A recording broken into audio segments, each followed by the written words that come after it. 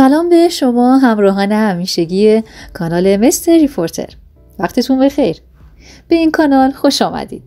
من Mrs. Reporter هستم و در این گزارش می‌خوام از تلاش دوازده گروه ایرانی در تولید واکسن کرونا بهتون اطلاع بدم.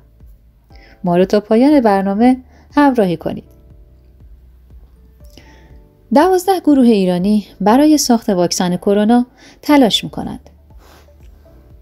ایرج حریرچی معاون کل وزیر بهداشت درمان و آموزش پزشکی درباره راهکارهای مبارزه با ویروس کرونا گفت راهکار مشخص مبارزه با ویروس کرونا واکسن نیست بلکه اگر افراد اصولی مثل فاصله گذاری اجتماعی در خانه ماندن، استفاده از ماسک، شستشوی مرتب دستان، اجتناب از سرفه و عدسه در فضای باز و محدود کردن زمان حضور در مکانهای شلوغ را رعایت کنند، می توان این ویروس را مهار کرد. او درباره اقداماتی که برای مبارزه با کرونا در جامعه باید انجام شود اظهار کرد. روزانه دو بار تهویه محیط در ادارات و مکانهای پرتجمع، اطلاع رسانی مناسب، حمایت مالی دولت از مردم که در هفته های اخیر به صورت مناسب صورت گرفته است، قرنطینه و محدودیت های سفر در شهرهای مختلف کشور که همکنون در حال اجرا است، بسیار در مبارزه با کرونا موثر است.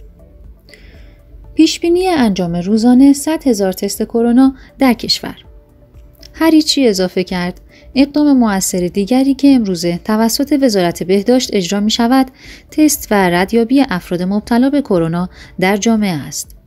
در حال حاضر روزانه 25 هزار تست انجام می دهیم که پیش بینی می شود این رقم به 100 هزار تست در روز برسد. معاون کل وزارت بهداشت در ادامه بیان کرد از سودجویان خواهش می‌کنیم در شرایط فعلی دور این بیماری را خط بکشند و منجر به تشدید این بیماری نشوند. مشکلی که هم اکنون در مراجعات بیماران کرونایی داریم این است که این افراد یا خیلی زود و یا خیلی دیر به مراکز درمانی مراجعه می کنند. افراد وقتی خیلی دیر به بیمارستان مراجعه می کنند ریه درگیر می شود و تعداد مرگ و میرها بالا می رود.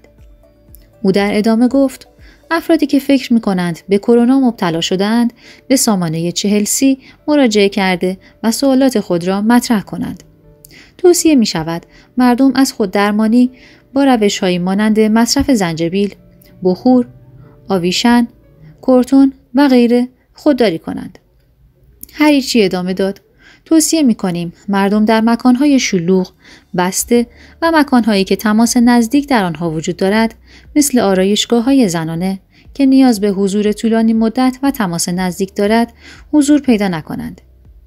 و افزود در ایران دوازده گروه برای ساخت واکسن کرونا تلاش می کنند که سه گروه مرحله آزمایش های حیوانی را نیز پشت سر گذاشتند. معاون کل وزارت بهداشت ادامه داد در شرایط فعلی تماس انسان با انسان باید به حداقل برسد. برخی از مردم حس روی این تن بودن دارند و می‌گویند همانطور که در چند ماه گذشته به کرونا مبتلا نشده ایم از این به بعد هم مبتلا نمی‌شویم. در پاسخ به آنها باید بگوییم که چنین نیست. زمانی در کشور روزانه 36 فوتی کرونایی داشتیم. اما در حال حاضر به آمار روزانه 440 نفر رسیده ایم امکان ابتلای هر فردی به کرونا وجود دارد. جشنها و دور همی های کوچک عامل سی درصد از موارد ابتلا به کرونا در کشور. هریچی ادامه داد سطح گردش ویروس امروزه بسیار بالاست و روش های مبارزه با کرونا در فروردین و اردیبهشت دیگر جواب نمی دهد. هر تجمعی ممنوع است و از مراسم مذهبی مثل اربعین گرفته تا 13 آبان در شرایط فعلی لغو شده است. سی درصد موارد ابتلا به کرونا در کشور ما ناشی از دور همی ها و جشن های کوچک است. معاون کل وزیر بهداشت ادامه داد در انگلیس مصوب شده که بیش از یک نفر را نمی شود در منزل پذیرش کرد و پلیس این افراد را جریمه می کند. در حالی که در کشور ما مردم در تجمعات حضور پیدا می کنند. او در ادامه توضیح داد ویروس کرونا به تدریج گسترش پیدا می کند و این گونه نیست که به یک باره تمام افراد را آلوده کند. درباره بیماری های عفونی دو محیط داریم. محیط اول انکوباتور است. محیط هایی مانند مدارس که ویروس را در حال گردش و زنده نگه می دارند. و محیط دوم amplifier محیط هایی مثل بیمارستان ها و خانه های سالمندان که تشدید کننده مرگ و میر هستند. 88 درصد فوت شدگان کرونایی بیماری زمینه ای داشتند.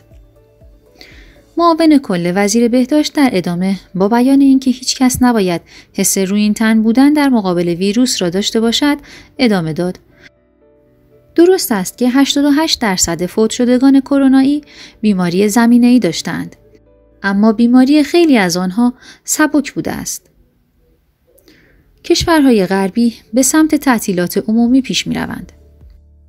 مسعود مردانی متخصص بیماری های عفونی و گرمسیری نیز گفت در دنیا کارهایی در حال انجام است که باعث خوشحالی است. در استرالیا برای رفت و آمد باید حتما پلیس را در جریان بگذارند و وقتی به شهر جدید وارد شدند باید چهارده روز با هزینه شخصی قرنطینه شوند. به همین دلیل است که در این کشور به تازگی یک مورد جدید ابتلا هم وجود نداشته است. مردانی در ادامه گفت کشورهای اروپایی به سمت تعطیلات عمومی پیش می روند. شیوع کرونا فقط مشکل کشور ما نیست و اگر مردم رعایت کنند هیچ مشکلی به وجود نمی آید.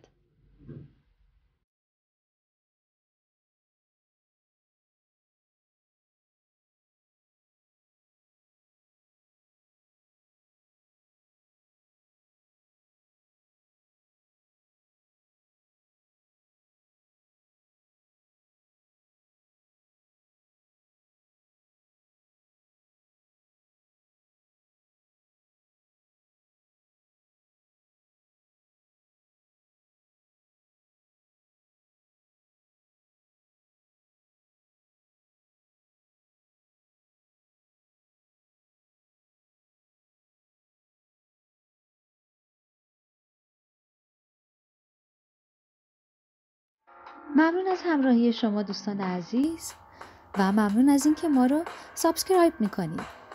موفق و معید باشید.